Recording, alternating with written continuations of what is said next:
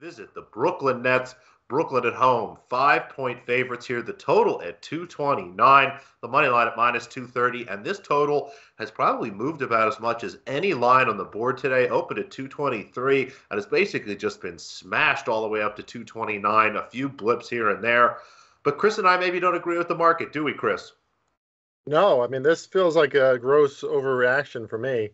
Um, obviously, the Wizards are coming off their offensive performance of the season. I, I I wouldn't be surprised if the Wizards never scored that many points again all season because even though they're uh, a developing team and exciting team in some ways, they got some younger players this year. They're not going to do that on a game-to-game basis, right? And I think we kind of saw that from the Timberwolves against the Warriors when they faced them a few days ago. Like the Timberwolves are just kind of lost right now. Like they they even with Rudy Gobert, they just don't have a lot of defense. Um, so I'm expecting some massive regression from the Wizards offense tonight.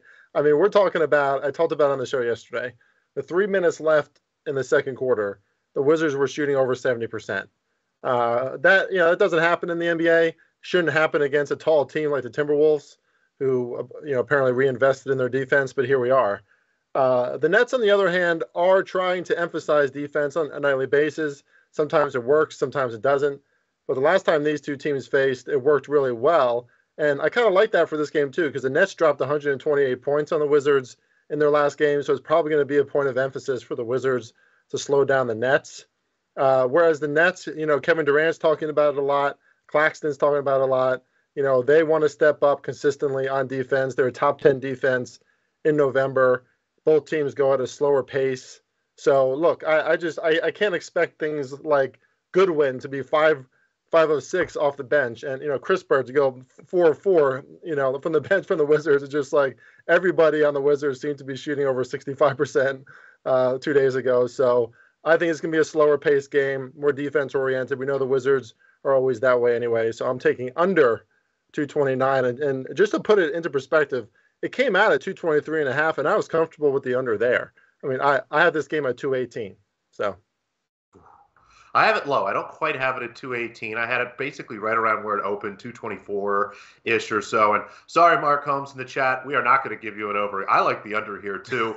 All the reasons that you mentioned. The pace has been extremely slow for these teams. I think you make a great point about us seeing a little regression here from the Wizards after their best performance of the year. No Ben Simmons tonight for the Nets, and you might think maybe that hurts them defensively, but that helps to keep the pace down. That limits what they're going to try to do from a fast break, break excuse me, a fast break perspective. He's really what drives that kind of movement for this Nets team. So I, I totally agree. I think we're going to see kind of a slow paced, kind of ba- back and forth, punchy kind of battle here. So I'm going to take the under too. And um, I think I took it at 227, 228 earlier today. Maybe go back and take a little bit of an alt under at like 225. Um, Skee, did you have time to look into this game?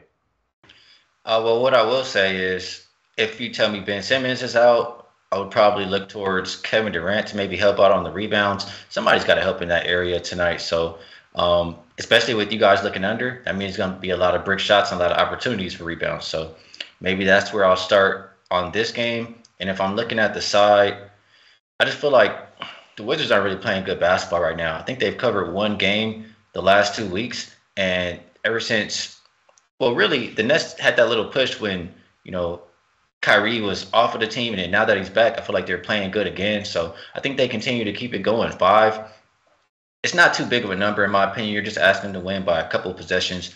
I would be leaning Brooklyn here. I would, you know, endorse you guys as under and look towards Kevin Durant over his rebounds if I'm going for a player prop. I like that player prop. You're right. No Ben Simmons. There'll be a lot of rebounds on the board, but two official plays really the same play. Chris and I will both take under 229 tonight, and what we hope is a nice, slow paced slog of a basketball game.